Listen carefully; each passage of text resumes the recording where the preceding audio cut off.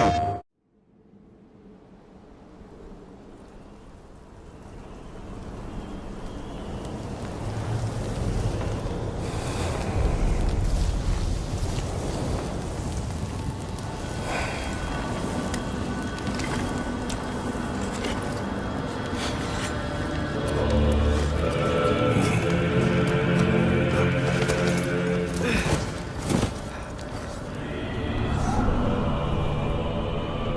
Time is running out.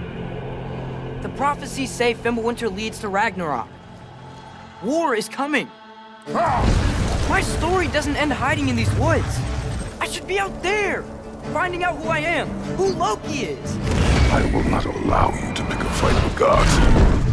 I don't want to fight anyone. I just want answers.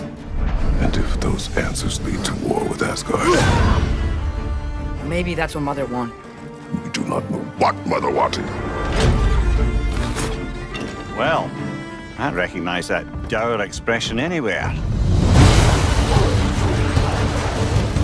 Odin's got tricks up his sleeve we haven't dared to consider. What if there was someone who could help us? You mean Tyr, the old god of war in these lands, who is dead. Well, for a dead man, Odin seemed pretty keen on seeing he wasn't found. If he's out there, we gotta find him. Come in. What in all Yarnsbeard happened to him? We're trying to stop Ragnarok, to help people.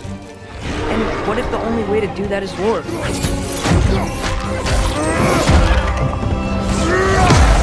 War is not the only way. Stop thinking like a father for a moment and start thinking like a general.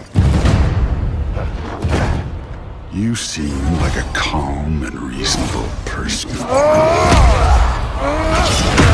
Are you a calm and reasonable person?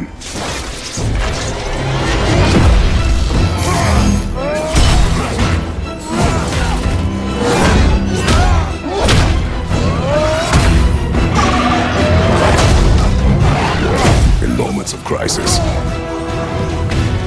panic does nothing. Harness it. Let it serve you.